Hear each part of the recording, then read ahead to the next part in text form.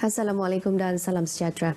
Berita pagi Sarawak ADC Kamis 16 Januari bersiaran terus dari studio HD RTM Kuching bersama saya Damia Kesendra Manja. Dan kita mulakan dengan berita ini. Kerajaan menerusi Kementerian Industri Utama melipat gandakan usaha memastikan setiap rantaian nilai dalam industri mencapai pensijilan mandatori iaitu pensijilan minyak sawit mampan Malaysia MPSO tahun ini. Ahli Lembaga Minyak Sawit Malaysia MPOB Senator Alan Ling Si Kiong bagaimanapun berkata usaha itu diteruskan supaya objektif MPSO tercapai. Ini berikutan setakat November tahun lepas hanya 60% kawasan tanaman telah pun menerima pensijilan MSPO. Senator Allen menjelaskan pensijilan mandatori tersebut penting untuk dicapai bagi mewujudkan kelestarian suasana peladangan yang baik dan kondusif serta melindungi pengusaha kecil dan sederhana yang terlibat dalam industri kedua penyumbang pembangunan ekonomi negara itu. Ini juga bagi menangani kempen anti minyak sawit yang dilancarkan oleh Kesatuan Eropah Then why we need MSPO?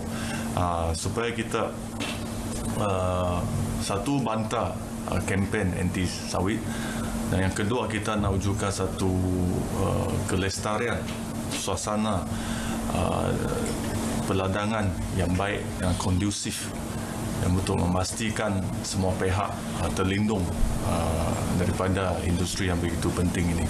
Beliau bercakap demikian dalam sidang media selepas mengadakan kunjungan ke Pejabat Minyak Sawit Malaysia Cawangan Miri. Tambah beliau, pihak Pejabat Minyak Kelapa Sawit berperanan dalam mempertingkat kesedaran pengusaha-pengusaha kelapa sawit, industri-industri dan kilang-kilang mengenai MSPO secara menyeluruh. Tujuh daripada 28 lencongan di sepanjang laluan Sibu ke Sungai Kuap telah ditutup. Manakala dua lagi lencongan juga dijangka ditutup selewat-lewatnya minggu hadapan. Ahli Dewan Undangan Negeri Adun Pelawan David Wong Ki Woon berkata penutupan itu adalah kesinambungan persetujuan bersama pihak kontraktor dalam lawatan ke tapak projek Pen Borneo penghujung tahun lepas. Sementara itu, baki 19 rencongan lagi akan ditutup menjelang perayaan Hari Raya Aidilfitri dan Gawai Dayak pada penghujung Mei akan datang.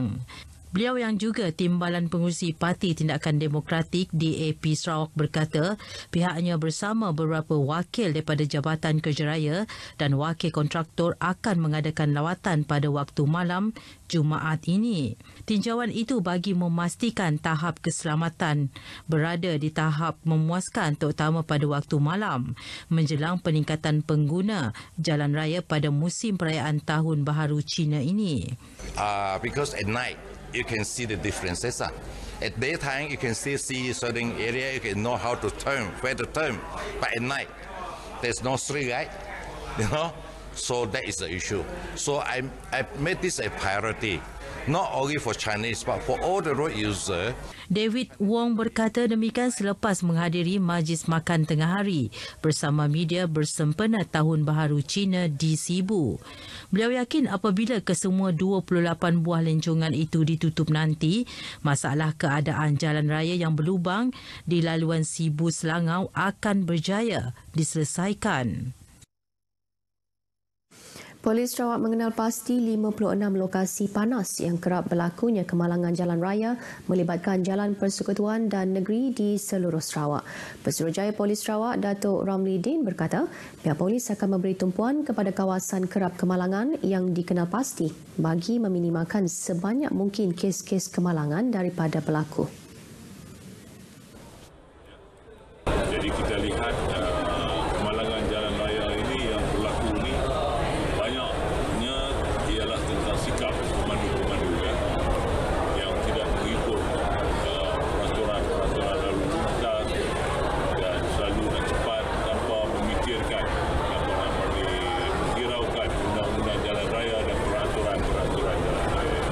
Jelas beliau empat lokasi panas yang dikenal pasti di Miri melibatkan dua jalan persekutuan masing-masingnya di kilometer 14 ke kilometer 22 Jalan Miri Bintulu dan kilometer 30 ke kilometer 39 Jalan Miri Bintulu manakala dua jalan negeri masing-masingnya di kilometer 44 ke kilometer 52 Jalan Pesisir Miri Bintulu dan Jalan Airport Miri. Beliau berkata demikian dalam sidang media selepas majlis pelancaran Ops Selamat 16 sempena perayaan Tahun Baharu Cina 2020 bertemakan Rumah Selamat Selamat Sampai ke Destinasi di Miri. Seramai 850 anggota dan pegawai polis ditugas membuat pemantauan dalam Ops Selamat yang dilaksanakan selama 15 hari bermula 18 Januari ini. Oleh itu, orang ramai yang akan pulang ke kampung halaman akan meninggalkan rumah sempena perayaan berkenaan diminta untuk memaklumkan kepada pihak polis agar kediaman dapat dipantau daripada kegiatan jenayah terutama pecah rumah. Katanya 128 laporan atau makluman balik kampung telah diterima sempena perayaan Christmas tahun lalu dan tiada kes jenayah dilaporkan dengan adanya pemantauan pihak polis.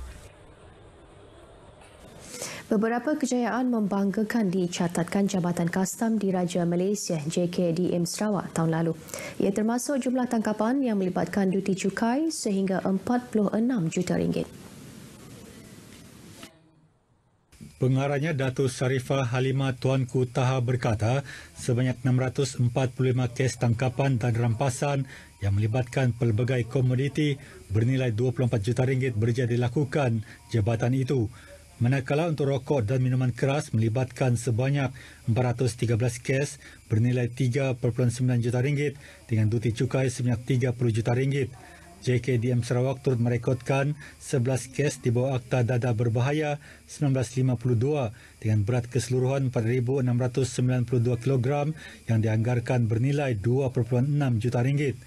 Tahun lalu juga menyaksikan JKDM Sarawak merampas 125 buah kenderaan mewah bernilai 11.6 juta ringgit dengan nilai duti cukai berjumlah 18 juta ringgit.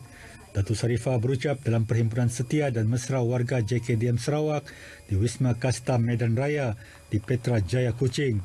Beliau turut memuji kecekapan pegawai-pegawai audit di bahagian pematuhan yang telah berjaya mengesan kekurangan pungutan duti dan cukai sebanyak 65.4 juta ringgit hasil auditan ke atas 264 syarikat pengimport dan register GST serta lain-lain syarikat yang mendapat kemudahan pengecualian cukai.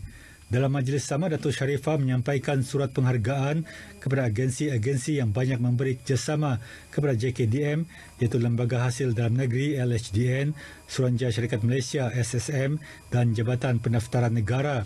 Turut disampaikan anugerah dan sijil penghargaan kepada 17 warga JKDM Sarawak yang telah menunjukkan prestasi cemerlang termasuk anugerah stesen cemerlang kepada stesen Kastam Miri. Pusat Khidmat Parlimen Sibu akan menganjurkan program sumbangan isian minyak motosikal percuma selama tiga hari bermula 18 Januari hingga 20 Januari ini. Ahli Parlimennya Oscar Ling Chayu berkata program berkenaan akan diadakan di stesen servis Petronas Jalan Tun Abang Haji Openg 2 yang terletak bersebelahan dengan SMK Tung Hua di Sibu. Oscar Ling berkata sebanyak 500 buah motosikal akan ditaja dengan isian RM5. Penunggang motosikal di sekitar Sibu boleh mendapatkan kupon isi minyak pada 18 Januari bermula pukul 9 pagi di stesen minyak Uni Petro. Kupon tersebut hanya boleh digunakan untuk mengisi minyak di stesen minyak tersebut dalam tempoh tiga hari. Inisiatif itu bertujuan meringankan beban masyarakat. Ke arah pembangunan ekonomi digital, Sarawak bercadang memohon lesen bagi penubuhan perbankan digital. Bagaimanapun, penubuhan bank digital itu memerlukan lesen yang dikeluarkan Bank Negara Malaysia bagi membolehkan urusan perbankan dengan penggunaan teknologi yang inovatif dalam sektor keuangan. Jelas Ketua Menteri Datuk Patinggi Abang Johari Tun Openg, cadangan itu antara usaha kerja negeri dalam memberi akses dan perkhidmatan terbaik kepada rakyat Sarawak. Beliau berucap merasmikan Hub Inovasi Dewan Perdagangan dan Perindustrian Cina Kuching KCGCCI. Mengenai hub tersebut, Datuk Petinggi Abang Johari berkata ia merupakan platform bagi usahawan muda untuk memasarkan dan memperluaskan produk-produk serta perkhidmatan mereka yang akan memadankan produk dengan pembeli atau pelanggan menerusi e-perdagangan. Penggiat industri perhotelan diseru untuk bergiat aktif dalam melaksana tanggungjawab sosial korporat CSR. Pengarah urusan dinasti hotel Tony Pui berkata, ia secara tidak langsung membantu golongan kurang berkemampuan terutama menjelang musim perayaan. Tony berkata pihaknya telah melaksanakan inisiatif berkenaan sejak 20 tahun lalu pada setiap musim perayaan bersama Jabatan Kebajikan Masyarakat JKM MIRI. Barangan agihan berupa keperluan dapur kepada penerima bantuan terdiri daripada persatuan badan bukan kerajaan di bawah JKM. Tony berkata demikian pada majlis penyerahan sumbangan Tahun Baru Cina tahun 2020 di Miri. Sementara itu JKM Miri merekodkan sejumlah 13 juta 925 ribu ringgit melibatkan 4,333 penerima telah menerima bantuan sepanjang tahun lepas. Tabung darah Hospital Umum Sarawak HUS dan kesemua tabung darah seluruh negeri Sarawak telah mengambil langkah bersiap sedia dengan meningkatkan stok darah bagi menjamin bekalan darah yang mencukupi sepanjang Januari dan awal Februari. Ini adalah kerana tren tahun-tahun sebelumnya menunjukkan bekalan darah menurun sewaktu musim perayaan. Menurut kenyataan Jabatan Perkhidmatan Transfusi dan Bank Darah Hospital Umum Sarawak HUS, penderimaan darah adalah amat diperlukan untuk semua tabung darah di seluruh negeri bagi menampung keperluan yang kritikal.